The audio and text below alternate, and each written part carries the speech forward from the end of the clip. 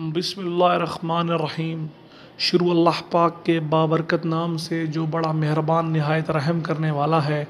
दरुद्सलाम उस हस्ती पर जो वजह तख्लीक कायनात है। आप तमाम अहबाब को हम अपने YouTube channel Islamic path tube पर खुश आमदीद कहते हैं। जैसा कि आपके इल्म में है कि हम इस वीडियो के तवसत से, इस चैनल के तवसत से आप तक इस्लामी मवाद पहुँचाते हैं, जिनमें ज़्यादातर ख्वाबों की ताबीरें होती हैं। तो आज एक और ख्वाब की ताबीर के साथ हाजिर खिदमत है और वो ख्वाब की है, ख्वाब में झंडा देखना या झंडा उठाना। तो इसकी मुख्तलिफ़ सूरतें हैं, जैसा कि ख्वाब में सफ़ेद झंडा देखना, ख्वाब में सब्ज़ झंडा देखना ख्वाब में जर्द रंग का झंडा देखना, ख्वाब में स्याह या काले रंग का झंडा देखना, ख्वाब में झंडा अपने हाथों में देखना, ख्वाब में झंडा हाथ से गिर जाना। तो ये मुख्तलिफ़ सूरतें हैं जिनकी मुख्तलिफ़ ताबीरें हैं। सबसे पहले तो वो हज़रात जो हमारे यूट्यूब चैनल पर नए हैं, जिन्होंने अभी तक हमारा यूट्यूब चैनल सब्सक्राइब नहीं किया उनसे गुजारिश है कि चैनल को सब्सक्राइब कर लें और घंटी का बटन दबाना ना भूलें ताकि तमाम वीडियो आपको वक्त से मिलती रहें। तो हज़रत ग्रामी, आपका वक्त ज़ाया किए बग़ैर हम मौजू की जानब चलते हैं कि ख्वाब में झंडा देखना या ख्वाब में झंडा उठाने की ताबीर। तो पहली सूरत है कि आप देखते हैं कि ख्वाब में सफ़ेद झंडा है। ख्वाब में आप सफ़ेद झंडा देखते हैं। ये वक्त के इमाम होने की दलील है। ये ख्वाब देखने वाला ज़मीर के मुताबिक ज़िंदगी गुजारेगा। ख्वाब देखने वाले की इज़्ज़त व तकरीम में अल्लाह पाक के हुक्म से इजाफ़ा होगा तो ये बहुत अच्छा ख्वाब है। इसी तरह एक और सूरत है कि ख्वाब में सब्ज़ झंडा देखना। ये दलील है कि मुश्किल सफ़र दरपेश होगा, मगर अल्लाह की रहमत साथ होगी। ये सलामती और अमन की तरफ़ इशारा भी है।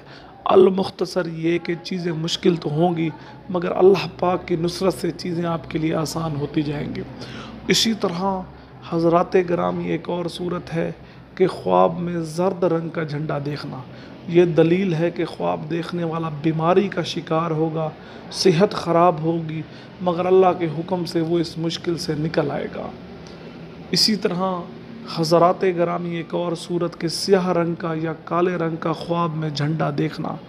ये दलील है कि ख्वाब देखने वाला शख्स सहरा की सैर करेगा। इसे फ़तह नसीब होगी। वो अपनी फ़ौज या अपने गिरोह का सरदार मुकर होगा। तो अल्हम्दुलिल्लाह, ये भी अच्छा ख्वाब है, इसकी भी अच्छी ताबीर है।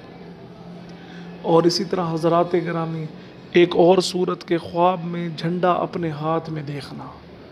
हज़रात ग्रामी, ये दलील है कि ख्वाब देखने वाले को सरदारी मिलेगी, ख्वाब देखने वाले को हकूमत मिलेगी, ख्वाब देखने वाले की इज़्ज़त व तकरीम में इजाफ़ा होगा। ख्वाब देखने वाला फ़ैसला साज होगा। फ़ैसला साज से मुराद ये है कि उसके पास ये ताकत होगी कि वो फ़ैसले ले सके। इसी तरह हज़रात ग्रामी एक और सूरत के ख्वाब में हाथ से झंडा गिर जाना। आप ख्वाब में देखते हैं कि आपके हाथ से झंडा गिर गया है तो हज़रत ग्रामी, ये अच्छा ख्वाब नहीं है। ये परेशानी की तरफ़ इशारा है, ये तनज़ली की तरफ़ इशारा है।